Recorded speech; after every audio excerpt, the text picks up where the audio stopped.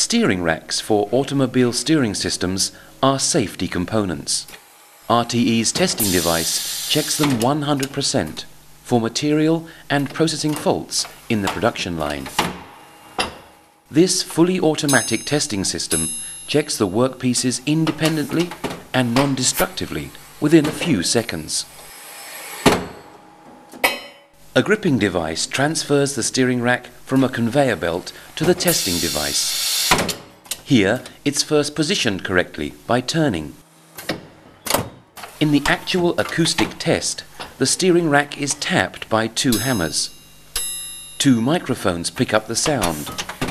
It's then evaluated and classified by the SR20AT testing system and the result displayed. Additional detailed information and statistical data can also be accessed. The testing facility is linked via a conveyor belt to the preset washer.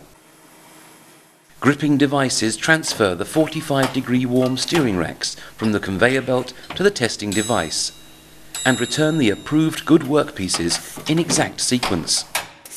If a workpiece is found to be not okay, the handling unit will sort the faulty piece into the bad part store.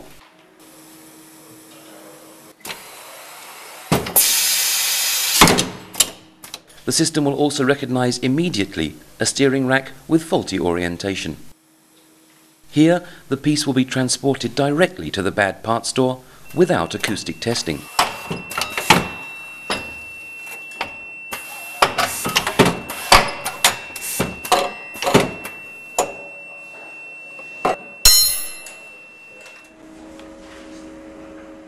The testing facility can be converted quickly and smoothly for steering racks of differing lengths and diameters.